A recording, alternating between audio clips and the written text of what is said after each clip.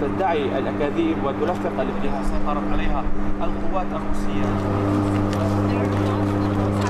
Depuis l'attaque brutale lancée par Vladimir Poutine en Ukraine le 24 février dernier, la guerre est revenue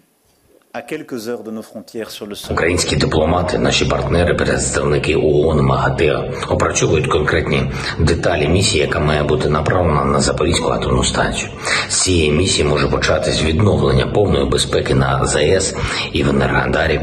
І я вдячний усім, хто приєднався до цієї роботи і ініціативи. Якщо російський шантаж радіацією продовжиться, то це літо може увійти в історію європейських країн як одне з найбільш трагічних за весь час.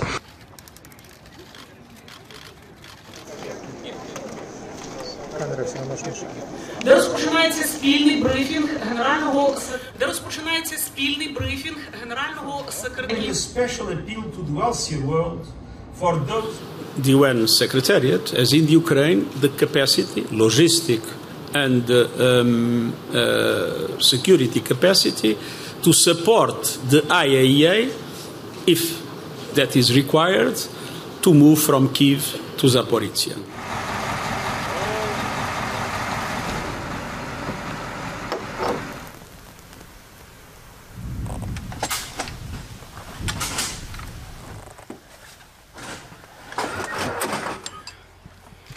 И следующая пустая.